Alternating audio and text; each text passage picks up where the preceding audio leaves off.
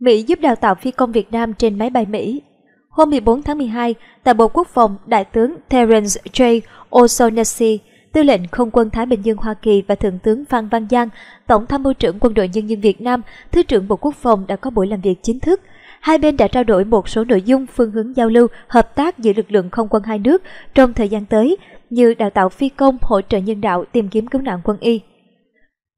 Trong thời gian tới, phía Hoa Kỳ vẫn tiếp tục thực hiện công tác đào tạo phi công cho quân đội nhân dân Việt Nam chính trên máy bay quân sự của họ. Đây là một hành động mang đầy tính biểu tượng. Như đã biết hiện nay, Việt Nam đang có nhu cầu mua sắm một số chủng loại máy bay quân sự đặc biệt để thay thế phương tiện đang nghỉ hưu hoặc để tăng cường tiềm lực quốc phòng cho đất nước. Nổi bật trong số những ứng viên gồm có tiêm kích hạng nhẹ F-16 Fighting Falcon, đặc biệt khi hiện nay Việt Nam đang không còn chủng loại tương tự từ khi cánh én bạc MiG-21 rời khỏi lực lượng trực chiến. Bên cạnh đó còn có máy bay tuần tra săn ngầm P-3C Orion, máy bay vận tải hạng trung C-130J Hercules, trực thăng vũ trang đa năng của Hải quân MH-60R Seahawk hay trực thăng đa dụng UH-1I cho Hải quân đánh bộ. Việc Việt Nam cử phi công đi học tại Mỹ chắc chắn không phải chỉ để chơi, ngoài ra cũng không có khả năng huấn luyện trên máy bay hệ Mỹ, rồi lại lái máy bay do Nga sản xuất do tính năng không tương thích giữa phương tiện đôi bên. Chính vì vậy mà nhiều nhà quan sát dự đoán đều tập trung vào viễn cảnh Việt Nam sẽ tiến tới hỏi mua máy bay quân sự do Hoa Kỳ sản xuất, nhất là khi hiện nay lệnh cấm vận vũ khí sát thương đã được dỡ bỏ. Đồng thời, Tổng thống Mỹ Donald Trump còn khuyến khích mua vũ khí của họ nhằm cân bằng cán cân thương mại. Nếu có trong biên chế tiêm kích F-16, máy bay tuần tra săn ngầm P-3C Orion hay một số loại khác, thì sức mạnh tác chiến của quân đội nhân dân Việt Nam sẽ gia tăng vượt bậc. NC-121I e Việt Nam bay thử sẵn sàng bàn giao. Phóng sự Lữ đoàn Không quân Vận tải 918 huấn luyện sát thực tế nhiệm vụ của kênh truyền hình quốc phòng từng đăng tải thông tin Việt Nam mua thêm NC-212I Bên cạnh những thông tin được kênh truyền hình quốc phòng Việt Nam đăng tải, thì hợp đồng mua sắm này còn được phía tập đoàn Airbus Defence and Space xác nhận thông qua bản thống kê số lượng máy bay quân sự đặt hàng, chuyển giao và vận hành tính đến ngày 31 tháng 12 năm 2015. Đáng chú ý hơn, ba chiếc NC-212I phiên bản nâng cấp của Casa C-212-400 mà Lữ đoàn Không quân 918 đang khai thác sử dụng theo yêu cầu của lực lượng cảnh sát biển sẽ chế tạo tại nhà máy ở Bandung, Indonesia do dây chuyền sản xuất C212 ở Seville đã ngừng hoạt động. Sau đó không lâu đã xuất hiện hình ảnh khung thân chiếc NC212i tại nhà máy Bandung với dòng chữ Việt Nam sơn trên thân. Tiếp theo, đến tháng 6 năm nay, bài viết đẩy mạnh ứng dụng công nghệ thông tin, học tập ngoại ngữ đăng trên báo Quân đội Nhân dân đã cung cấp thêm thông tin liên quan đến vấn đề trên. Cụ thể, Lữ đoàn Không quân 918 đang tổ chức lớp học ngoại ngữ cho 40 phi công, cán bộ kỹ thuật ở phía Nam để chuẩn bị tiếp nhận bàn giao máy bay mới.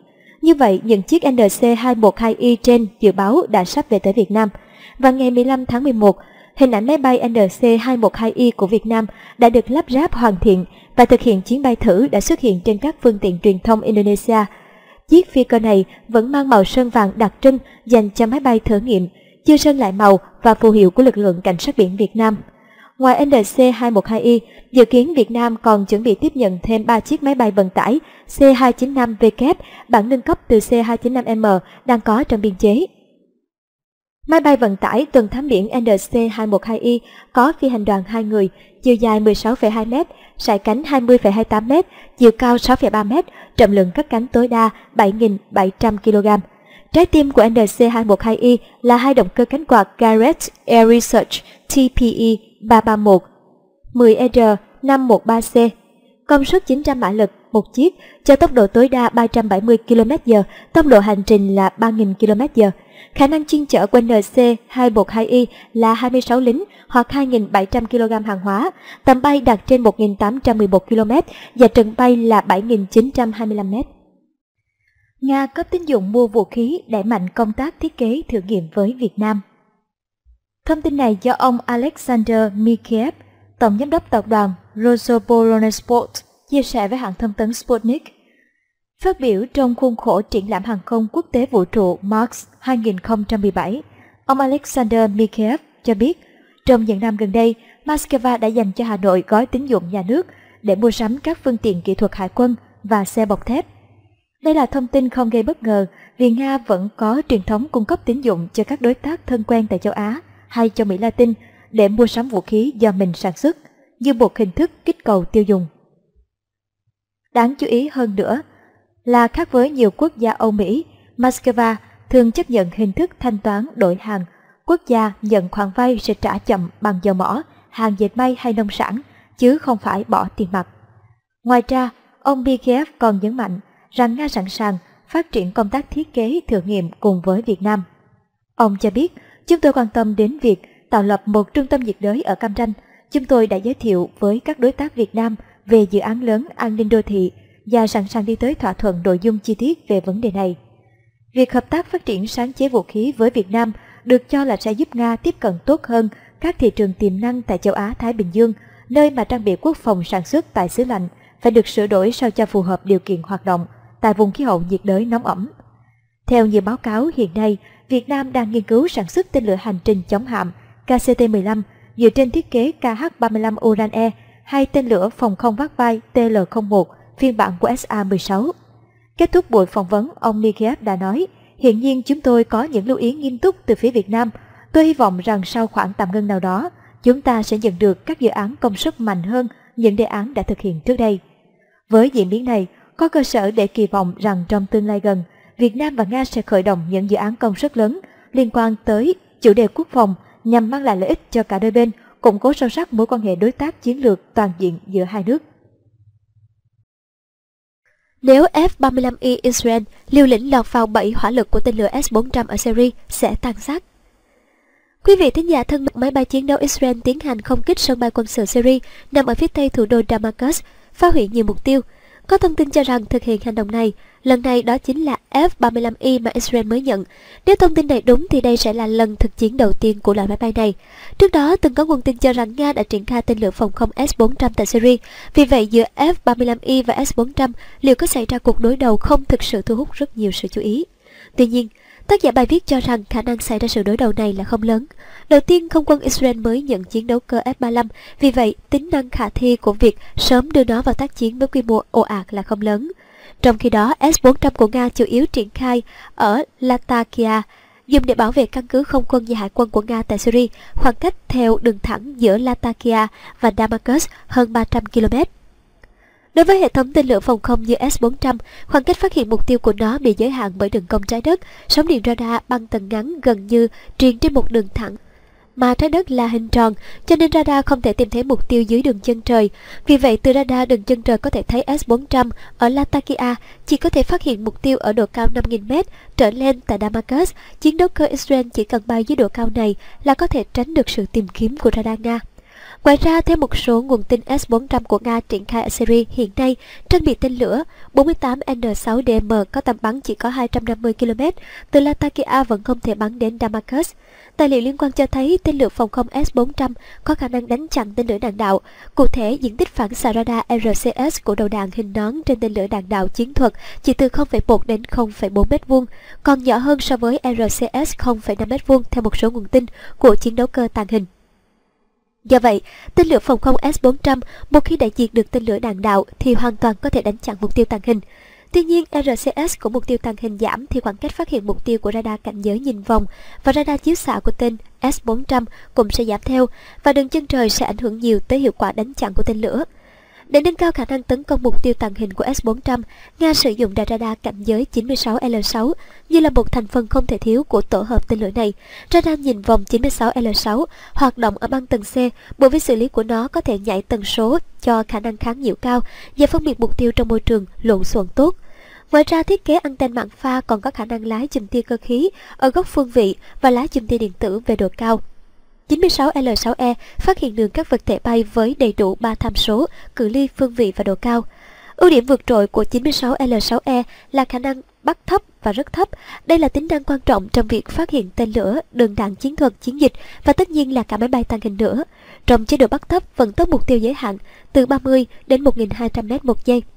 Bên cạnh đó, 96L6E còn có chế độ chuyên tìm kiếm ở độ cao thấp với khả năng bao quát 360 độ trong vòng 6 giây, góc phương vị từ 3 cho đến 1,5 độ ở chế độ này thì vận tốc mục tiêu giới hạn là từ 50 cho đến 2.800 m một giây. Radar 96L6E có khả năng phát hiện đồng thời 100 mục tiêu, tầm trinh sát tối đa 300 km. Có thông tin cho rằng radar này đã triển khai đến Syria. Điều này cho thấy Nga tương đối coi trọng việc cảnh giới của lực lượng đóng tại Syria đối với máy bay tàng hình. Tuy nhiên radar nhìn vòng và chiếu xạ có thể nhìn thấy F-35I không có nghĩa là có thể đánh chặn được nó. Vì đầu tự dẫn của tên lửa cũng là một vấn đề khi cự ly sụt sạo bám khóa mục tiêu của chúng ở pha cuối khá là hạn chế. Đối với chiến đấu cơ thế hệ 3 cũng chỉ khoảng 30 km. Như vậy khoảng cách bám khóa đối với mục tiêu tàng hình của đầu tự dẫn trên tên lửa là dưới 15 km, thậm chí còn ít hơn và hầu hết thời gian trong quỹ đạo bay đều phải nhờ radar chiếu xạ cung cấp chỉ lệnh dẫn đường dễ bị gây nhiễu. Từ đây có thể thấy tên lửa S-400 có khả năng đánh chặn chiến đấu cơ F-35I nhất định, nhưng khoảng cách đánh chặn của nó giảm đáng kể, chỉ có thể bao phủ Latakia và khu vực gần nó. Cho nên chỉ cần Israel không chủ động tấn công Latakia, Nga không thể tiến hành đánh chặn. Trên thực tế, có thông tin cho rằng Nga và Israel từng đạt được hiệp định không can thiệp vào hành động của nhau tại Syria, cho nên cảnh tượng F-35 đối đầu với tên lửa S-400 tạm thời vẫn không thể xảy ra. Tướng Iran toàn bị hệ thống S-300 PMU-2 trực chiến Theo hãng thông tấn Fars, cuộc duyệt binh ngày quân đội Iran được tổ chức tại thủ đô Tehran, sự tham gia của đại diện toàn bộ các lực lượng quân sự, cùng với dàn vũ khí hùng hậu bao gồm xe tăng, phương tiện bọc thép và thiết bị bay không người lái, máy bay chiến đấu và các hệ thống phòng không. Đặc biệt trong số này là hệ thống S-300 PMU-2 mới được tiếp nhận từ Nga. Phát biểu trong sự kiện này, tướng Farzad Esmaili cho biết ngay khi được tiếp nhận hoàn chỉnh, toàn bộ hệ thống S-300 đã tham gia trực chiến và sẵn sàng làm nhiệm vụ. Để vũ khí tối tân này trong tình trạng sẵn sàng chiến đấu cao nhất, S-300 PMU-2 sẽ được thường xuyên sử dụng trong hệ thống phòng thủ và tập trận của quân đội Iran. Hệ thống này sẽ được kiểm tra đầy đủ các kỹ năng trong tác chiến, tướng Fazad Esmaili tuyên bố. Được biết đầu tháng 3 năm 2017, các đơn vị thuộc quân đội và lực lượng vũ trang cách mạng Iran thực hiện cuộc tập trận quy mô lớn và lần đầu thử hệ thống tên lửa đất đối không S-300 mới mua của Nga.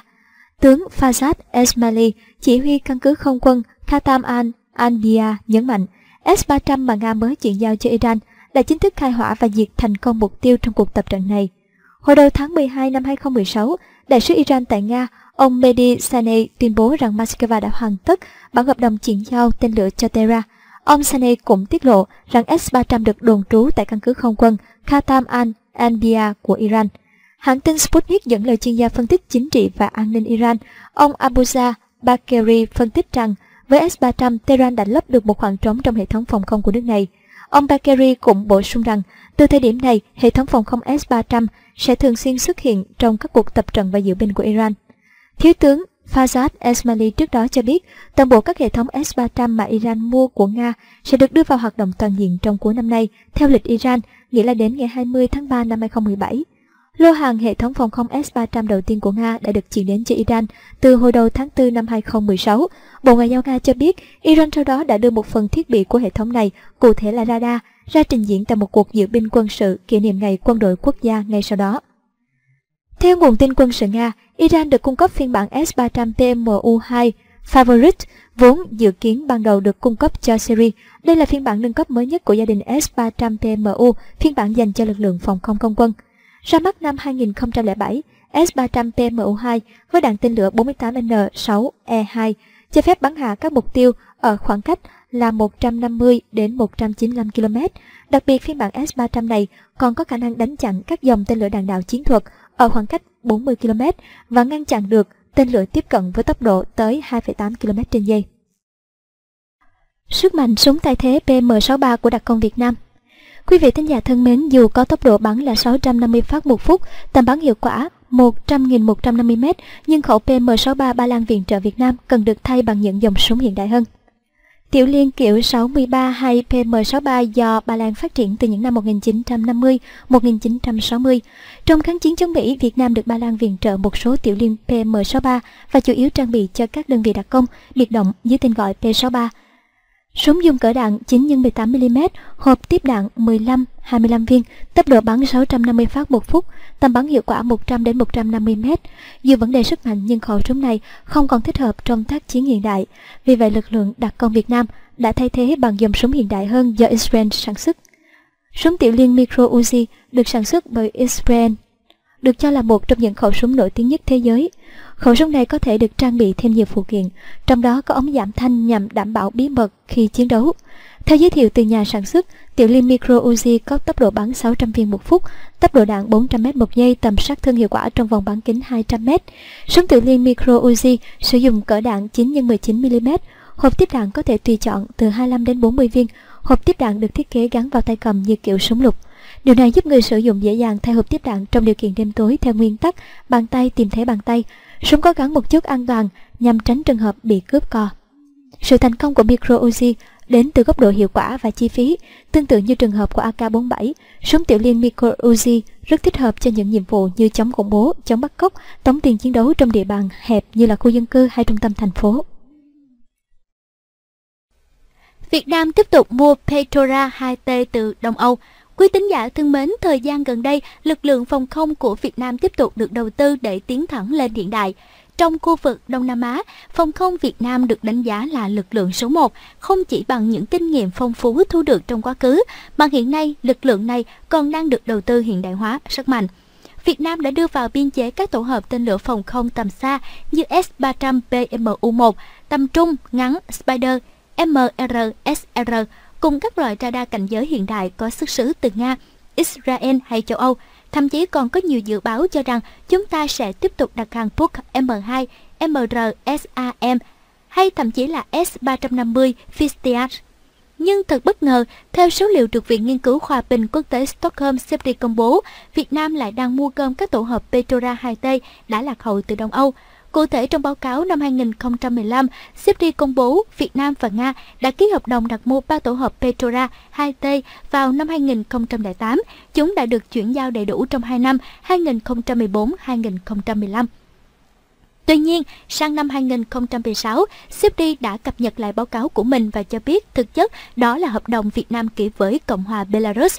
Cho tới hết năm 2016, số bộ khí tài Petrora 2T được mua gom đã lên tới con số 5. Các tổ hợp Petrora 2T này được mua về để tiếp tục nâng cấp lên chuẩn Petrora 2TM. Hiện tại mặc dù đã đưa vào trực chiến một vài tổ hợp tên lửa phòng không hiện đại, nhưng số lượng như vậy vẫn là chưa đủ với một quốc gia trải dài như Việt Nam. Thêm vào đó, nhiều tổ hợp S-75 Vina, SA-2 cũng đã hết hạn sử dụng buộc phải có người kế nhiệm. Trong các ứng viên có lẽ giai đoạn trước mắt không ai xứng đáng hơn Petrora 2TM. Vì vậy sau khi nâng cấp số có trong trang bị, Việt Nam lại tiếp tục mua cơm từ Đông Âu để bù vào khoảng trống. Với tầm bắn tối đa 35,4 km, tiêu diệt được mục tiêu trong giải độ cao 20 đến 25.000 m, sử dụng hai kênh điều khiển để bắn hạ hai đối tượng trong cùng lúc ở tốc độ bay tối đa 900 m trên giây. Với xác suất 92% khi chỉ sử dụng một đạn duy nhất có khả năng kháng nhiễu điện tử cao, Thời gian triển khai và thu hồi ngắn, Petrora 2TM được dự báo sẽ không bị lạc hậu trong ít nhất 10 năm tới. Ngoài ra, giá thành một quả đạn tên lửa V600 của tổ hợp Petrora 2TM rẻ hơn rất nhiều so với đạn Patton 5, Turbine của Spider hay 9M317 của Book. Do vậy, việc Việt Nam tiếp tục đặt niềm tin vào Petrora 2TM để tiếp tục mua đồ cũ mang về nâng cấp là hoàn toàn hợp lý. Chúc mừng tiêm kích đa năng Su-30 SME vừa có khách hàng đầu tiên. Quý vị tính giả thân mến, theo trang điện tử về quân sự pdmilitary.com, một máy bay tiêm kích đa năng Su-30 SME bằng Nga tích cực giới thiệu gần đây đã có khách hàng đầu tiên. Trang tin quân sự nói trên của Bangladesh hé lộ rằng không quân nước này đã nhất trí những điều khoản hợp đồng với công ty xuất khẩu vũ khí nhà nước Nga Rosoporo Export về việc đặt mua 8 chiếc tiêm kích đa năng Su-30 SME thế hệ mới trên cơ sở tiêm kích Su-30 SM nội địa của Nga. Ngoài ra, hợp đồng còn có điều khoản phụ là Bangladesh được quyền lựa chọn mua thêm 4 chiếc nữa. Thông tin về hợp đồng này cũng được một đại diện giấu tên của công ty chế tạo vũ khí nhà nước Nga Rostet xác nhận. Như vậy, sau nhiều nỗ lực quảng bá, dòng tiêm kích đa năng Su-30 SME dường như đã giành được khách hàng đầu tiên. Năm ngoái, việc Su-30 SME xuất hiện tại triển lãm Singapore Airshow 2016 đã thu hút được sự quan tâm rất lớn của không những nhiều đoàn đại biểu quân đội cấp cao của các quốc gia mà còn cả khách tham quan. Năm nay tại Lima 2017 đang diễn ra tại Malaysia từ ngày 21 đến ngày 25 tháng 3 2017. Một lần nữa, Su-30 SME lại xuất hiện với kỳ vọng rất lớn là chinh phục được không chỉ những khách hàng quen thuộc ở Đông Nam Á như Malaysia, Indonesia, Myanmar và bây giờ quả ngọt đầu tiên đã xuất hiện. Nếu như các bạn thấy những bản tin quân sự hay và hấp dẫn, thì hãy ủng hộ chúng tôi bằng cách ấn đăng ký theo dõi. Việc đăng ký trên hoàn toàn miễn phí. Video này hãy like và chia sẻ cho bạn bè của mình. Hãy cho chúng tôi biết suy nghĩ của bạn bằng cách comment ở bên dưới. Xin chân thành cảm ơn quý vị và các bạn đã ủng hộ. Xin chào và hẹn gặp lại.